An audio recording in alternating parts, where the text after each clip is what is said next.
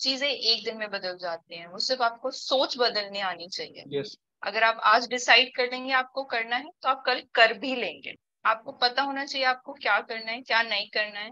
कभी मत सोचिए ये आपसे नहीं हो पाएगा सबसे हो जाएगा। हम सब एक जैसे हैं कोई अलग नहीं पैदा हुआ। सब एक जैसे हैं। Yes.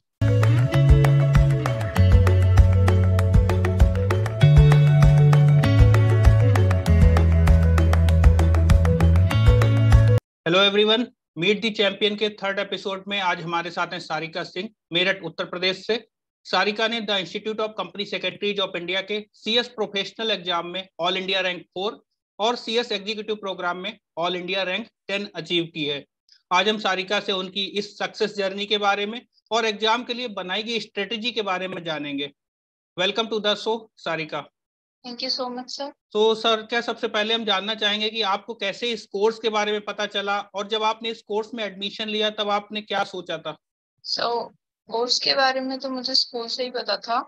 क्योंकि स्कूल में हमारे टीचर्स हमें बताते हैं कि आपको कौन कौन से कोर्सेज आगे ऑप्शंस में मिलेंगे। सो so, कोर्स तो मैंने वहीं से डिसाइड कर लिया था। एंड फिर मैंने उसी के हिसाब से प्रिपेयर करना शुरू किया। और आपकी all India rank C S executive और सी एस प्रोफेशनल दोनों में है तो क्या आप चाइल्डहुड से ही स्टूडियस स्टूडेंट रही हैं? नहीं टिल टेंथ तक I would be very honest tenth तक मैं बिल्कुल भी मतलब ध्यान नहीं देती थी ऐसा नहीं है पढ़ने में ठीक नहीं थी पर ध्यान बहुत कम देती थी। लाइक like, चलो खेल लेते हैं सोशल मीडिया यूज़ कर लेते हैं घूम आते हैं। बट इलेवेंथ में आके आई डिसाइडेड नहीं अब थोड़ा डिसिप्लिन आना चाहिए। आगे ट्वेल्थ है बोर्ड्स के बाद अब कुछ सोचना पड़ेगा। So then when I came to eleventh I decided what my core area will be what my majors will be and फिर इलेवेंथ से मैं बहुत डिसिप्लिन में आ गई। सीएस करने से पहले आपकी क्या एकेडमिक क्वालिफिकेशन रही है? अच्छा so I have completed my schooling from the saint Joseph schools Greater Noida and in twelfth में भी मुझे बहुत अच्छे मार्क्स मिले थे. I was the second topper of the commerce and tenth tenth तक I got eighty eighty five percent okay twelfth I got ninety one point five percent great so C S exams के लिए आपने कोई classes join की थी या self study preparation के लिए की थी? नहीं नहीं. क्लासेस भी ली थी एंड मैंने सेल्फ स्टडी भी की कुछ सब्जेक्ट्स के लिए. सो so, वो दोनों मिक्स था. क्लासेस भी थी एंड सेल्फ स्टडी और जो आपकी सी एस के एग्ज़ाम के लिए स्ट्रेटजी थी वो आपने क्या बनाई हुई थी कि आपको कितने टाइम कितना सब्जेक्ट्स को देना है या जो भी आपकी स्ट्रेटजी हो वो बताइए।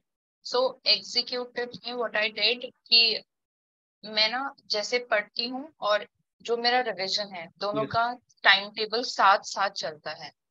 So half of the day मेरा पढ़ने का होता है फिर हाफ़ ऑफ़ द डे मेरा रिविजन होता है। सो फ़र्स्ट ऑफ़ ऑल मैं अपनी क्लासेस खत्म करती थी मैं ज़्यादातर रिकॉर्डेड क्लासेस लेती हूँ। क्योंकि फिर वो मेरे टाइम टेबल के हिसाब से सूटेबल हो जाता है। Yes.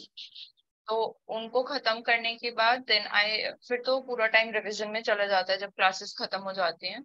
बट हाफ़ डे में मैं अपनी क्लासेस करती हूँ अपने नोट्स वगैरह बनाती हूँ देन हाफ़ डे में मैं रिविजन करती हूँ। उसी के हिसाब से अपना पूरा स्ट्रैटेजी uh, प्लान करती हूँ। And to be very honest आपको अपना टाइम टेबल खुद बनाना चाहिए।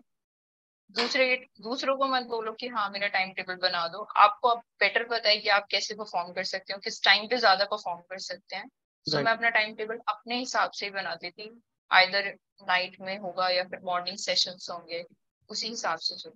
और हमने देखा कि सीएस के जो स्टूडेंट्स हैं वो ज़्यादातर स्टडी मटेरियल को कम टच करते हैं। कोचिंग के नोट्स या सेल्फ नोट्स बनाते हैं। तो स्टडी मटेरियल का आपकी सक्सेस जर्नी में कितना रोल रहा है?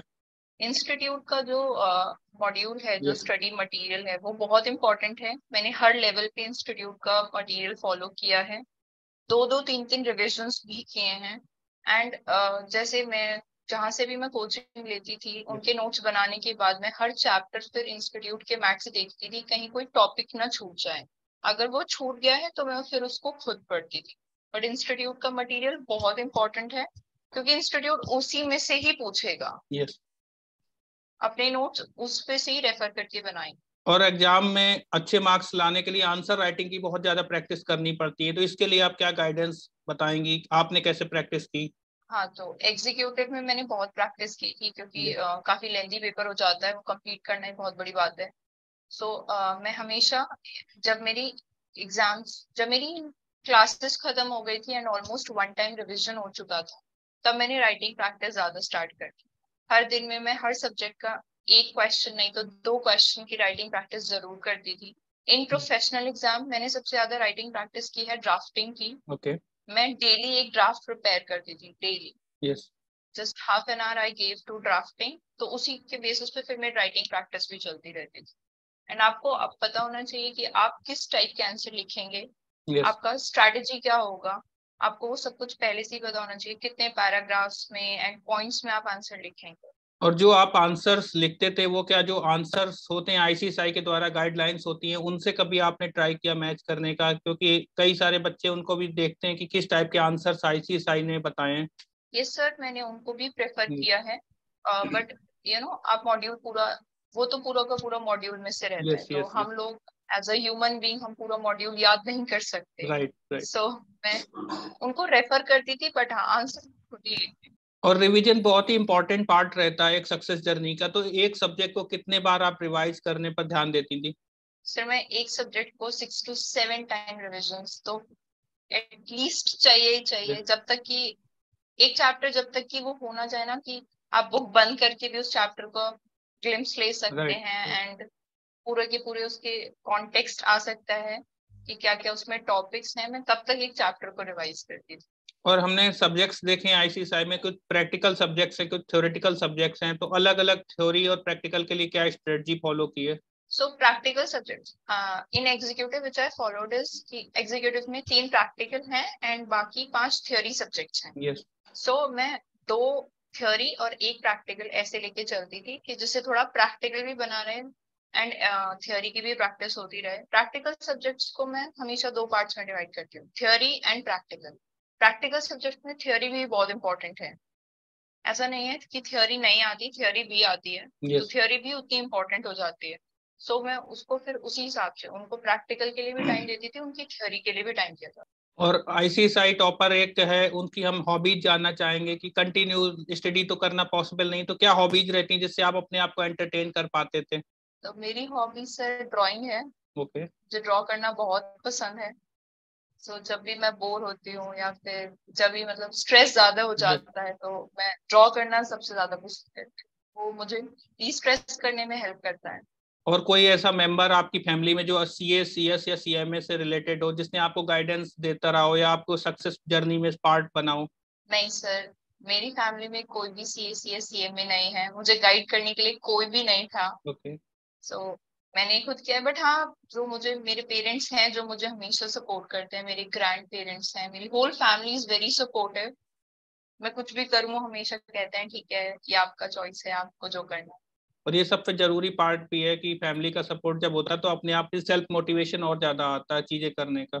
Yes sir I agree with that मेरी फैमिली बहुत सपोर्टिव है। और एग्ज़ाम से पहले हम देखते हैं कि आठ से नौ दिन कंटिन्यू एग्ज़ाम्स होते हैं तो उस उस टाइम पर क्या मेंटल स्ट्रेस रहता है? कैसे स्ट्रेस को मैनेज करती थी? So there is one thing कि मैं एग्ज़ाम से पहले कभी नहीं पढ़ती। Okay okay. बस मैं हमेशा एग्ज़ाम से पहले ही वो मार्क करके रख लेती हूँ ये इंपॉर्टेंट चीज़ें हैं ये मुझे रिवाइज करके जानी है बस मैं उनको रिवाइज करती हूँ। नहीं तो मैं एग्ज़ाम से पहले नहीं पढ़ क्योंकि उस टाइम पे बहुत स्ट्रेस हुआ रहता है। मैं पहले से ही अपना पूरा रिविजन करके रखती हूँ कि मुझे एग्ज़ाम से पहले दिन सिर्फ़ इम्पोर्टेंट मार्क्स कर इम्पोर्टेंट मार्क कर लेती हूँ कि बस ये एक बार देख के जाना है।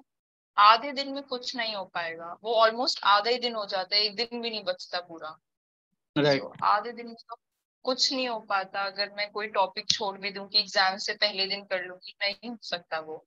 और अभी दिसंबर 2022 के सीएस एग्ज़ाम्स आने वाले हैं तो आप उन स्टूडेंट्स को क्या बताना चाहेंगी कि what to do what not to do before exams stress मत लेना बहुत बारी सो मेरे टाइम पे क्या हुआ था कि जो पेपर जो था वो सीएस प्रोफेशनल के टाइम पे द ओपन बुक एग्ज़ाम जो था वो थोड़ा अनएक्सपेक्टेड आया था। फ़र्स्ट टाइम जो मैंने देखा मैं थोड़े घबरा गई but then I realise it's okay basics clear हैं। Yes. अगर आपके बेसिक्स क्लियर हैं अगर पेपर भी अनएक्सपेक्टेड है तो आप अटेम्प्ट कर लेंगे कोई बड़ी बात नहीं है। पर आपको बेसिक्स क्लियर होने चाहिए रटना नहीं है पहले समझने की कोशिश करें।